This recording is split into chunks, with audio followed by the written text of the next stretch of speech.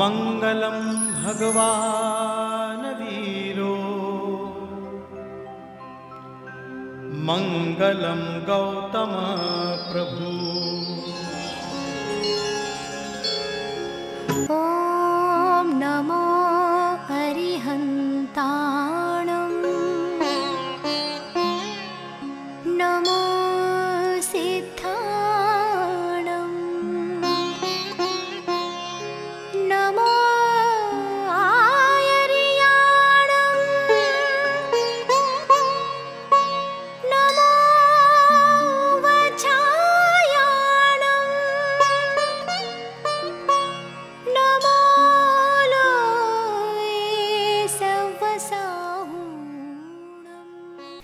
Jai Jinendra and welcome to Mangalam. Today we have another program for you. We visit one of the Patshalas in India. This is in Akola, Maharashtra, India. What is unique about this Patshala?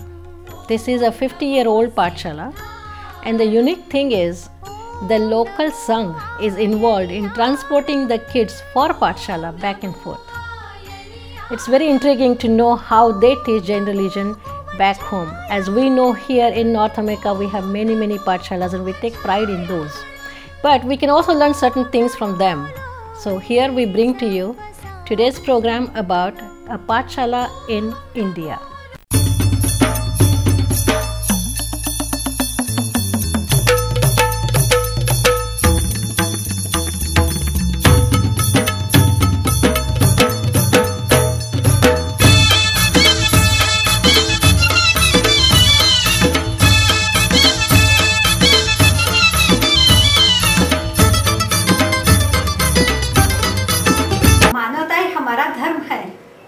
सेवा ही हमारा कर्म है। विद्या व्यक्ति की तीसरी आँख है और उस आँख को ज्योतिर्मान बनाती है पाठशाला। पाठशाला समाज का मुख्य अंग है और हमें बड़ी खुशी है कि हम इस पाठशाला में सेवारत सेवारत हैं। हैं। गुलशन खिले गुल खिले गुलशन खिले और खुले गुलदस्ते प्रार्थना शुरू होने से पहले हम आपको सबके तरफ़ से प्रणाम।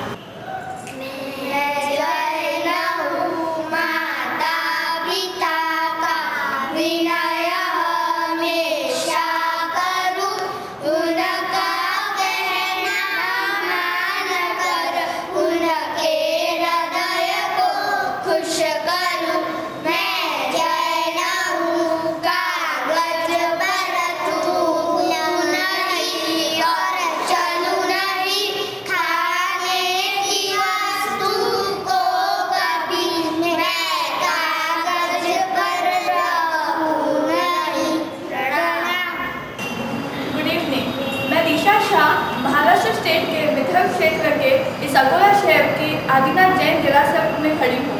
यहाँ की धार्मिक पाठशाला एक अद्भुत पाठशाला कही जाती है।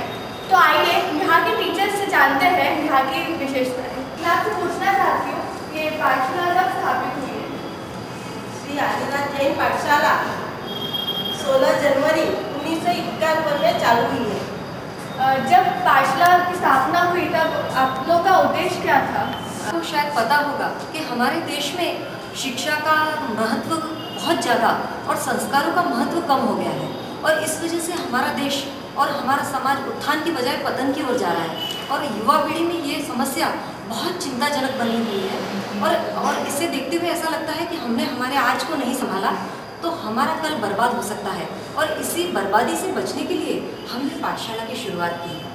पाठशाला शुरू करने का मुख्य उद्देश्य एक ये भी था, सम्यक ज्ञान का प्रचार और प्रसार करना और बच्चों को सुसंस्कारी करना, बस इतना ही हम चाहते हैं। आपको शायद पता होगा कि हीरे कभी खानों और दुकानों में भी नहीं मिलते और सिंह कभी झुंड में नहीं मिलते। उसी तरह पूरे भारतवर्ष में दो करोड़ से भी ज़्यादा जैन हैं, पर उसमें साधु साधियों की संख्या मात्र दस हज़ार है। अगर साधु बनने का कोई रॉ मटेरियल है तो वह यही सुशिक्षित और सुसंस्कारी बालक है जो पाठशाला में पढ़कर हम सुसंस्कार देते हैं तो आगे चलकर यही बच्चे कोई महान आदर्श पदाधिकारी, कोई टीचर वगैरह बनकर अपना इतिहास की रचना करते हैं तो इसीलिए हमने पाठशाला के कुछ बच्चों को इसके बारे में पूछा, कि आप आगे चलकर क्या बनना चाहते हो तो उन्होंने अपने विचार व्यक्त किए evening. My name is Hita Shah and I am 11 years old. I am studying in 5th standard. I am attached to my Pathshala since 5 years. I learned many things from this Pathshala, but my main aim in life is to become a minister. From Sanskar Vatika, I learned how to become a good minister and they are. I would, I would spend 18 hours every day to solve people's issues. I would work hard and never be corrupt. I will give more importance to values rather than my party. I will not be power crazy. Thank you. Here, Chirag Mehta. I am studying in standard 4 and 10 years old. I am uh, I am Jain. Even I am proud of my caste. I am here. I I have joined Pashala since 6 years. I have I have I have been able to do my Ashtaprakari Puja daily in this tense world. I have been I have been doing my dharma every day. I am I, I, am, I am wishing to be a businessman. But being a businessman, I will remember these things. I will never do fraud with my customers. I will ne- not mix anything in my gra- grains. And remember these points forever. Good evening. My name is Priksha Shah. I am studying in 7th standard and is 13 years old. I joined this Agna Jain Sanskar since 8 years. After coming here, I learned about Ajay geography. After coming here, I wish to become a teacher. And after becoming a teacher, I will teach this following rules to my students. I will make sure that education does not mean only gaining information but also has values. I will see that my textbooks does not contain any discrimination about the religion or the caste but also has some values. Pranam, I am Siddharth Shah, studying in BCom final year. Since 17 years, I am the student of this Pathshala. I gain lot of dharmic knowledge from this Pathshala. Besides, I to learn that the basic qualities which is essential for the good person to become a man. First, I become a man. I will abstain from my bedside. With the help of good values, I will keep myself pure. I will compassionate towards the poor people and the animals. Finally, I am thankful to my teachers for providing me a social service for the better future of our Jainism. Pranam. मैं प्रियल शाह कक्षा सातवीं की छात्र हूँ मैं इस पाठशाला में करीब नौ वर्ष से जुड़ी हूँ मैं आज इस पाठशाला के बारे में एक छोटी सी कविता पेश कर रही हूँ हमारी मेरी पाठशाला ओ मेरी पाठशाला, बरसाती ज्ञान धारा बरसाती ज्ञान धारा जीवन हमारा बनाने, निष्दिन प्रयत्न करती। जीवन हमारा बनाने, निष्दिन प्रयत्न करती। संस्कार देती अच्छे, ओ मेरी पाठशाला। संस्कार देती अच्छे, ओ मेरी पाठशाला। कभी नहीं भूलेंगे, उपकार जो किए हैं। कभी नहीं भूलेंगे, उपकार जो किए हैं। सच्चा ज्ञान बताए ओ मेरी पाठशाला, वो मेरी पाठशाला। यहाँ पढ़ने वालों के लिए कोई एज लिमिट है? पढ़ने, ज्ञान लेने के लिए तो कोई एज लिमिट रहती नहीं। ज्ञान ज्ञान के लिए कोई एज की परिसीमा ही नहीं है। हमारे यहाँ पाँच साल के ऊपर के सभी बच्चे ज्ञान ग्रहण करने के लिए आते हैं। साथ में हम सब बहनें भी छोटे बड़े सूत्रों को कंठस्थ करते हैं। बताया कि आपकी पाठशाला नाइन्टी वन से स्टार्ट हुई है। तो आज इतने सालों में क्या क्या प्रोग्रेस हुआ है? ऊपर के सभी बच्चे ज्ञान ग्रहण करने के लिए आते हैं। साथ में हम सब बहनें भी छोटे बड़े सूत्रों को कंठस्थ करते हैं। बताया कि आपकी पाठशाला नाइन्टी वन से स्टार्ट हुई है। तो आज इतने सालों में क्या क्या प्रोग्रेस हुआ है? इस साल में करीब हमने 2000 से भी अधिक विद्यार्थियों को संस्कारी किया है। इतना ही नहीं बल्कि हमारी पाठशाला में कुछ बालिकाओं ने संयम भी अंगीकार किया है और गर्मी की छुट्टियों में बच्चे नाना नानी की जब घर घूमने जाने की बजाय पालीताड़ा तीर्थ की नावड़ो यात्रा करने जाते हैं और छठ करके साथ यात्रा भी करते हैं। दिशा जी, आपको जानकर आश्चर्य होगा कि करीब पाँच छः साल के बालक बालिकाएँ भी परिश्रम के दरमियान अजित शांति अतिचार सत्ताईस का स्तवन हालरहार सब बड़े बड़े सूत्र भी बोलते हैं और हम बड़े भी जो नहीं लंग कर पाते या बोल नहीं पाते वो भी वो अच्छे से लंग करते हैं। एकदम सही बात है पाठशाला के लिए। पाठशाला के लिए मैं भी कुछ कहना चाहूँगी। हाल ही में हमारे बच्चों ने कुछ समय पहले ऊना विद्यापीठ में परीक्षा दी जिसमें उन्होंने उत्तम प्रदर्शन किया और दो स्वर्ण पदक भी हासिल किए हैं। और अभी फ़िलहाल उन्होंने संस्कार वाटिका चेन्नई की भी एग्ज़ाम दी है। और अति व्यस्तता और फास्ट लाइफ होमवर्क का बर्डन उस सब की वजह से अपने बच्चे रोज़ दैनिक पाठशाला में आ नहीं सकते। तो उनके लिए हमने नई स्पेशल क्लासेस शुरू की है रविवार को कि वो लोग उस दिन आके अपना ज्ञान ग्रहण कर सकते हैं धार्मिक और वो बहुत उन्नति कर सकते हैं आपकी पाठशाला वाकई में बहुत अनोखी है। आप हमें और भी कोई विशेषता बताना चाहेंगे? कार की एक बड़ी विशिष्टता है सभी बच्चों को ऑटो रिक्शा में मुफ़्त ले जा, ले जाते हैं और लाते हैं। और ऐसी व्यवस्था कोई भी शहर में नहीं है। और इसीलिए यहाँ सब बाल बालिकाएँ पढ़ने के लिए आते हैं। और इतनी अच्छी व्यवस्था श्री अकोला श्री आदिनाथ जैन पेढ़ी द्वारा की गई है। इस अनोखी पाठशाला में हमारे संघ के भाई बहन बाईस साल से अपना अमूल्य समय देकर बच्चों को बच्चों में धार्मिक और सुसंस्कार का सिंचन करते हैं। पाठशाला का करिकुलम कैसा है? पाठशाला में हम बच्चों को सूत्र के साथ साथ उनको अर्थ का भी ज्ञान देते हैं जिससे वो सरलता से हमारे जो धार्मिक सूत्र है उनको जान सके समझ सके। साधना में हम बालकों को सूत्र के साथ साथ अर्थ का भी ज्ञान देते हैं, जिससे वो सूत्रों को सरलता से समझ सके। साथ ही उनके अंदर मानवता जगे, इसलिए अलग अलग तरह के प्रोजेक्ट लेते हैं। जैसे कि उनको अनाथ आश्रम में लेके जाना ब्लाइंड स्कूल में लेके जाना, गौशाला आदि लेके जाते हैं और उन्हीं के हाथों वहाँ पे अलग अलग तरीके से उनको मतलब अनुकंपा दान का प्रोजेक्ट उनके हाथों लिया जाता है। साथ हम और भी कई प्रोजेक्ट लेते हैं, जैसे कि बच्चों को अलग अलग तीर्थ पर यात्रा करने के लिए लेके जाना। वहाँ जाके हम बच्चों को वहाँ के भगवान की तीर्थ की पूरी माहिती देते हैं और उन्हें समझाते हैं। और उस वजह से बच्चों में हमने देखा है कि बहुत बड़ी भावना प्रकट होती है और उस वजह से उनका भक्ति भाव भी जो खिलता है वहाँ जाने के बाद तो हम लोगों को भी खुद को लगता है कि नहीं, अपने से अच्छी भक्ति तो वो लोग कर सकते हैं। और देखा है कि जब हम शत्रुंजय की यात्रा करने, कराने लेके गए थे, उसके बाद हमारे पाठशाला के बच्चे नवानु करने गए थे। और वैसे ही हम उनको जैन इतिहास, जैन भूगोल और आदि बहुत सारी प्रतियोगिताएँ देते हैं, योगा भी पढ़ाते हैं और दुनिया के साथ साथ चलने की उनमें एक शक्ति पावर पैदा पैदा करते हैं। पहले के समय में सूत्र को सिर्फ़ कंठस्थ करवाया जाता था।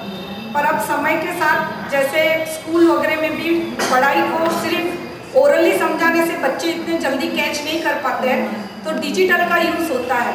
उसी प्रकार हमने भी हमारी पाठशाला को डिजिटल बनाया है।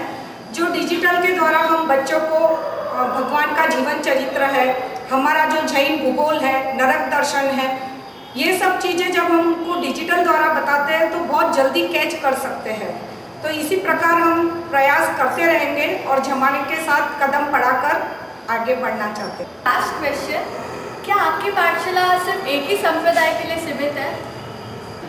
महावीर की वाणी सही रूप में बच्चों तक पहुँच सके हमारा सिर्फ़ यही एक उद्देश्य है और इसी तरह से हम पढ़ाना चाहते हैं कि महावीर का पंथ कोई अलग अलग नहीं था। महावीर के जो वचन थे वो सिर्फ़ एक ही था अनेकांतवाद और वही वही सिद्धांतों को हम बच्चों तक पहुंचाते हैं। जैसे कि हम, हमारे में नौकार मंत्र सबका एक ही है। नौकार मंत्र एक है, अहिंसा परम धर्म पर एक ही है और तीर्थंकर, परमात्मा भी सभी के एक है।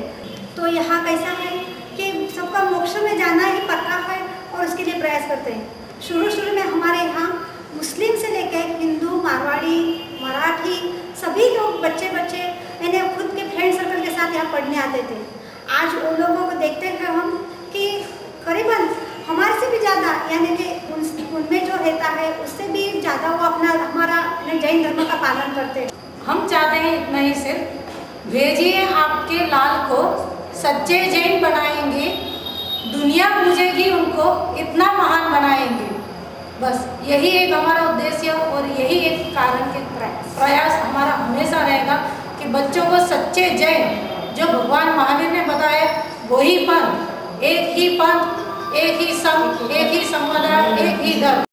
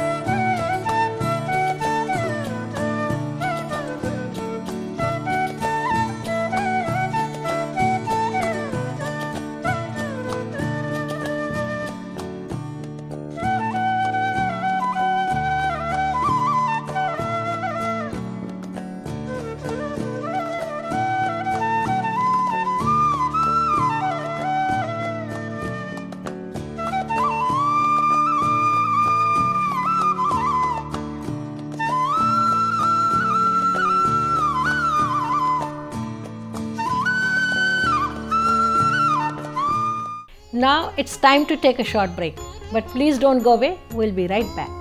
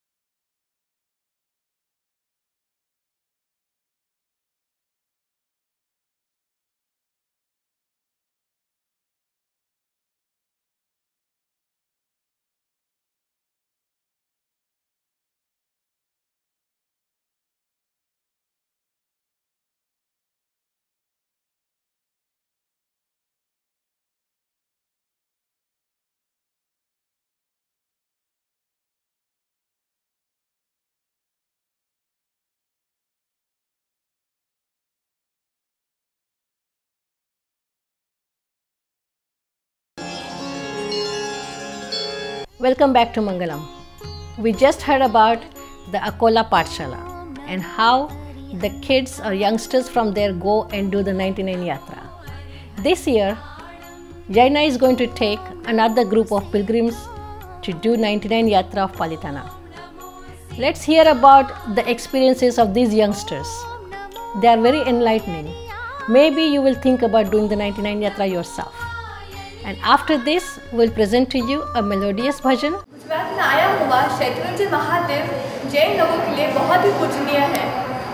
वहाँ की 99 टाइम्स यात्रा करने से बहुत पुण्य प्राप्त होता है और मोक्ष की भी प्राप्ति होती है ऐसा इन लोगों का मानना है। तो यहाँ पे जो है उन लोग खुद ये एक्सपीरियंस करके आए हैं। आइए हम उनसे जानते हैं उनका एक्सपीरियंस क्या था। पाली दादा की नवान यात्रा करने के लिए आप लोगों का मोटिवेशन क्या था कहाँ से आपको इंस्पिरेशन मिली ऐसे गहरे अ, हमारे पाप कर्म हैं उनको मिटाने के लिए हमें नवाणु यात्रा का मोटिवेशन मिला है। और अम, अ, हमारे कर्म खपाने के लिए ही हमने नवाणु यात्रा करना है ऐसा डिसीज़न लिया। सुना है आपने नौ उपवास करके सत्ताईस यात्रा की है इस महादेव की। तो आपका एक्सपीरियंस क्या था? कि इजी था? इजी तो नहीं था। अपन अगर हार गए तो ये चीज़ कभी कोई ना कर पाएगा। इसके लिए तकलीफ़ सहन करते रहे दादा पे भरोसा रखते रहे और यात्रा करते रहे। और दादा ने पूरी ये करवाई। तो पहले दिन चार यात्रा। चार यात्रा यानी एक यात्रा के अंदर छः हज़ार चार सौ के अंदाज में पायरिया होती है। वैसे चार यानी करीबन पच्चीस एक हज़ार पायरी चढ़ना स्टेप्स चढ़ना और उतरना, ये पहले दिन ही किया। और पहले दिन जब तबीयत नाजुक लगने लगी तो उसने सोचा कि कैसे होगी मेरी कल की यात्रा? आज तो पहला ही दिन है। सुबह उठा, दादा को याद किया, आदेश्वर दादा को याद किया कि, दादा, शक्ति दो। बस उन्होंने शक्ति दिया और मैं चलता पड़ा रहा। जाकर जो दूसरे दिन फिर वही यात्रा चालू किया और तीन यात्रा किया। रोज यही सोच के दादा, मुझे जितने तुम सहाय करते रहो। और ऐसा लगता था जैसे वो मेरे को पीछे से सहारा दे रहे हैं, सपोर्ट दे रहे हैं कि, नहीं, तू चल, मैं तेरे पीछे ही हूँ। उसी तरह मैं चलता रहा। और दादा की सहाय से मैं यात्रा करता रहा। और करते हुए मेरी पूरी सत्ताईस यात्रा नौ दिन के अंदर पूर्ण किया मैं नवान यात्रा करते वक्त आप लोगों को क्या एक्सपीरियंस हुआ?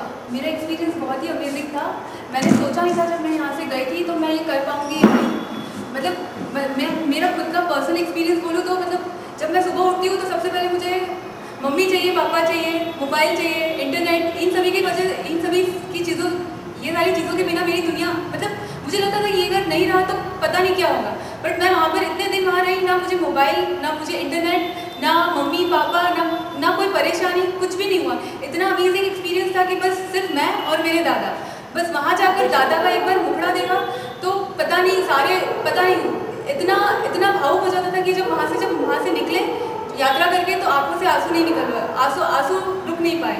इस तुम्हें नेपाल की यात्रा के वक्त ऐसी कौन सी बातें थी जो आपको अच्छी लगी और कौन सी बातें थी जो आपको अच्छी नहीं लगी? हाँ बहुत सारे एक्सपीरियंस अच्छे थे। सबसे अच्छी बात ये थी कि वो अलग अलग स्थानों से वहाँ पर लोग आते हैं और जिन्हें हम जानते भी नहीं हैं वो एक दूसरे की सहायता करते हैं। सबसे अच्छी बात ये है कि व्यावच करना। जब छठ करके साथ यात्रा करनी होती है, तब अनजान लोग भी एक दूसरे की हेल्प करते हैं और उनकी साथ यात्रा कंप्लीट करने में मदद करते हैं।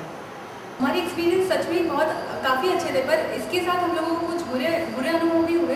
जैसे कि, और हम- जैसे हम लोग जानते हैं कि हमारा ये जो तीर्थ है, ये पावन तीर्थ, शाश्वत तीर्थ है, पर इस पर जब कोई पाप करता है तो हमारे मन को बहुत ही दुख होता है, अंदर से बहुत दुख होता है। जैसे वहाँ पे चलते हुए कोई भी थूक देता है, वहाँ पे खाता है स्मोकिंग करता है ये देखकर सच में मन को बहुत ज़्यादा दुख होता है कि ऐसा सब कुछ नहीं करना चाहिए। लास्ट में मैं आपको पूछना चाहती हूँ कि पूरे यात्रा में ऐसी कौन सी चीज़ है जो आप चेंज करना चाहते हो? है कि वहाँ जो भी यात्रालु यात्राएँ करने आते हैं वो एक दूसरे की अच्छी तरह से सहायता करें और सा- यात्राएँ सफल करने में एक दूसरे की मदद करें। और जो भी हम वहाँ भगवान के चरणों में अन्न चावल फ्रूट्स या मिठाई चढ़ाते हैं, वो सब कुछ हो जाने के बाद उसको प्रॉपर स्थान पर रखें, ताकि अन्न का भी अपमान ना हो, पाव के नीचे आके, और जीव हिंसा से भी हम बच सकें। मङ्गलाणं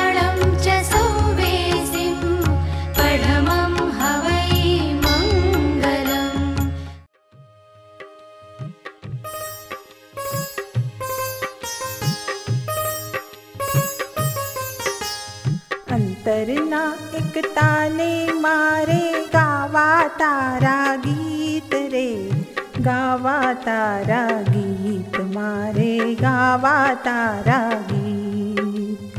गावा तारा गीत मारे गावा तारा गीत। उर्मा उछड़े सुरनी सरगम, सांभर जे संगीत रे। गावा तारा गीत मारे गावा तारा गीत। गावा तारा गीत मारेगा वा तारा गीत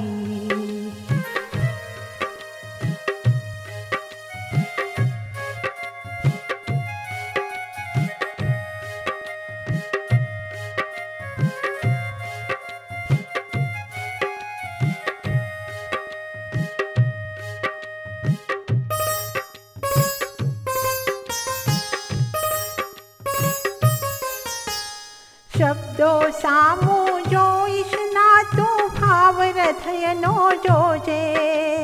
शब्दो सा इशनाय नो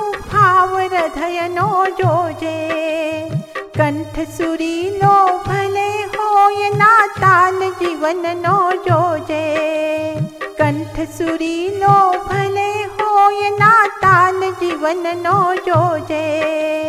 गीते गीते गुन्थायनि पारख जे पारखे प्रीत रे। गावा तारा गीत, मारे गावा तारा गीत।